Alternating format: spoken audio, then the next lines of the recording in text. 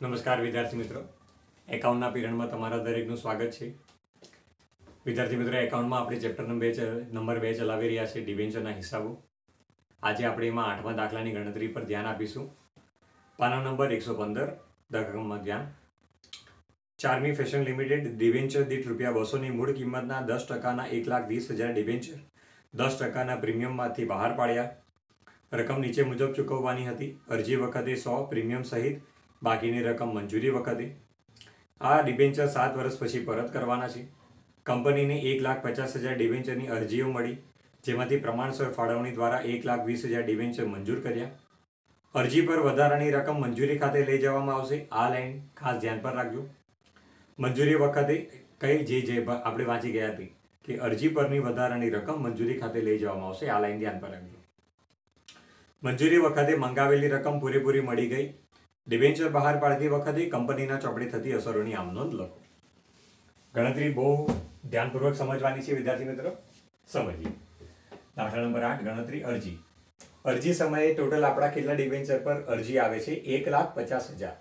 અને આપણને રકમમાં કીધું છે તે પ્રમાણે કે આપણો જે ડિબેન્ચર બસો રૂપિયાનો છે, દસ ટકા પ્રીમિયમ એટલે વીસ રૂપિયાનો પ્રીમિયમ.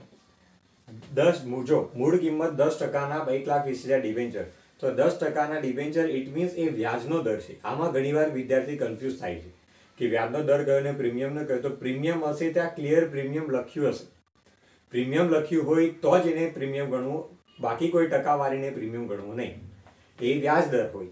અને પછી લખ્યું છે અલ્પવિરામ કરીને દસ ટકાના પ્રીમિયમ બસો રૂપિયાના દસ ટકા, દસ વીસ રૂપિયા સોરી પ્રીમિયમ થશે. હવે અરજી સમયે તમે સો રૂપિયા મંગાવો છો. એટલે એક લાખ પચાસ હજાર ડિબેન્ચર સો રૂપિયા લેખે તમારી પાસે ટોટલ આવે છે એક કરોડ પચાસ લાખ.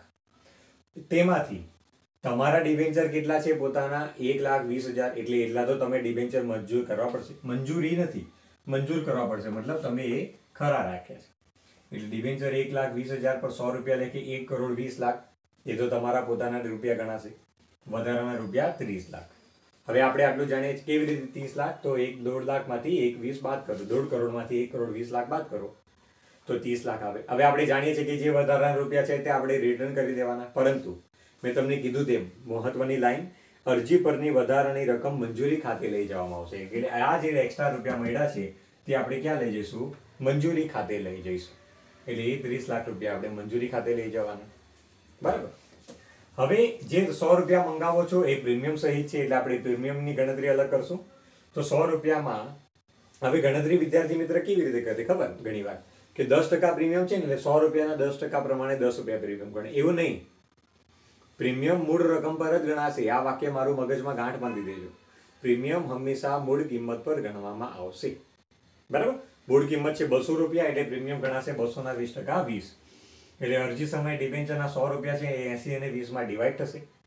એસી રૂપિયા તમારા ડિવેન્ચરની મૂળ કિંમત, વીસ રૂપિયા પ્રીમિયમ. એક લાખ વીસ હજાર પર એસી રૂપિયા લેખે છન્નું લાખ તમારા ડિબેન્ચરના અને વીસ રૂપિયા પ્રમાણે ચોવીસ લાખ તમારા પ્રીમિયમના. આ જે છે એ કુલ રૂપિયા એક કરોડ વીસ લાખ એ આના પ્રમાણે બને છે. એ સુધી ડાઉટ કોઈને? હવે મંજૂરી. મંજૂરી સમયે ટોટલ કેટલા રૂપિયા? તો બસો રૂપિયા મૂળ કિંમત, વીસ રૂપિયા પ્રીમિયમ, એટલે આપણા ડિબેન્ચરની કિંમત થઈ ટુ ટ્વેન્ટી હવે બસો વીસ રૂપિયામાંથી સો રૂપિયા તમે ઓલરેડી મંગાવી લીધા. એટલે હવે આપણે મંગાવવાના કેટલા રહ્યા? ડિવેન્ચર દીઠ એકસો ને વીસ. ઘણીવાર વિધા શું કરે? બસો રૂપિયામાં સો રૂપિયા મંગાવ્યા, સો મંગાવવાના બાકી. ના. બસો વીસ રૂપિયા છે, એટલે એકસો વીસ મંગાવવાના બાકી રહે. મંજૂરી સમયે તમારા ટોટલ ડિબેન્ચર એક લાખ વીસ હજાર, એકસો વીસ રૂપિયા પ્રમાણે એક કરોડ ચુમ્માળીસ લાખ તમે મંગાવો છો. પરંતુ અગાઉથી તમને કેટલા રૂપિયા મળ્યા છે? ત્રીસ લાખ તમને અગાઉથી મળી ગયા છે. એટલે અગાઉથી મળેલ અરજી સમયે ત્રીસ લાખ તમારે અહીંયાથી માઇનસ કરવા પડશે. એટલે હવે તમારા બેંકમાં કેટલા આવશે? એક કરોડ ને ચૌદ લાખ. ચાલો, તો ગણતરી ધ્યાનપૂર્વક સમજજો. કોઈ પણ ક્વેરી હોય તો પૂછી શકો છો.